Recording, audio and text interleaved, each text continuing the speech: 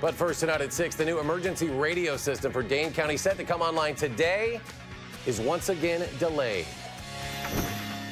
The $18 million system is supposed to connect emergency workers throughout the county, originally set to be completed last summer, but serious problems remain. And a News 3 investigative reporter Adam Schrager joins us now with more. And Adam, what kind of problems are we talking about now? We're talking about audio problems, Eric. Arguably the most basic component of a radio system remains this specific system's biggest problem. There remain gaps in what's called DaneCom, where police and firefighters simply can't hear one another talk on the radio in numerous tests.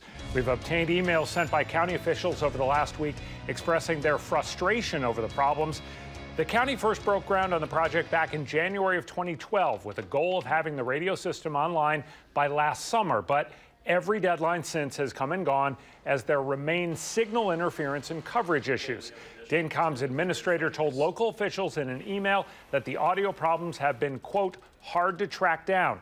Further, he said while he hoped the latest problems could be fixed in weeks rather than months, he remains unsure, and that has left some emergency providers unsettled if something bad happens or I'm on the outside and see something bad happening and I can't reach my crews inside, uh, that, that doesn't that isn't going to end well. Um, you know, we, we joke around here saying, well, we're going to go to, you know, Radio Shack and buy 20 walkie-talkies because we know they'll work.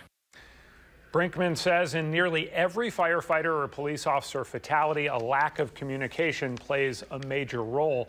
Compounding the problem right now is that the cities, towns, and villages in Dane County are openly debating whether they should continue to pay operating and maintenance fees on a system that is not fully operational. Their taxpayers have already paid hundreds of thousands of dollars for DaneCom over the last couple of years.